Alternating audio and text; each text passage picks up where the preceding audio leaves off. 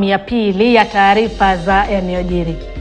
Serikali ya kaunti ya Bungoma ikishirikiana na Benki ya Dunia imezindua ujenzi wa mradi wa soko la kisasa katika soko la kamuyukya kwenye eneo bunge la Kimilili kwa kima cha shilingi milioni mbili, milioni mia mbili arobaini na mbili. Akizungumza wakati wa uzinduzi huo, gavana wa kaunti hiyo Ken Lusaka amesema kuwa ujenzi wa soko hilo utaanza majuma mawili yajayo, huku mradi huo ukilenga kuwanufaisha wafanyi biashara zaidi ya elfu nne na kusaidia kuinua kiwango cha biashara katika eneo hilo.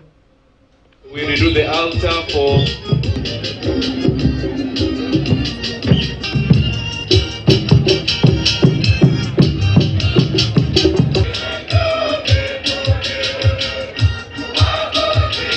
na sio mradi huu peke yake tunazindua. Nataka nishukuru sana county assembly yetu kupitia kwa chairman na wote na speaker. I want to thank you for approving a budget ya kufanya huu mradi.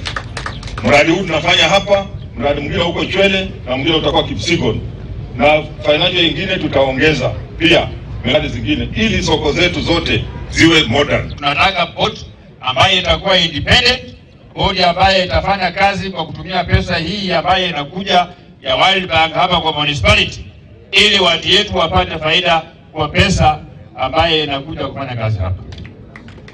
Mimi nimekuwa hapa, nimeketi hapa nikasikiliza mheshimiwa Muungani akasema ameongea na madam OCS ati iko insecurity hapa kamgua na madam OCS amesema. Ati sababu ambaye iko insecurity, Muungani amesema ati OCS hana gari ya kufanya patrol.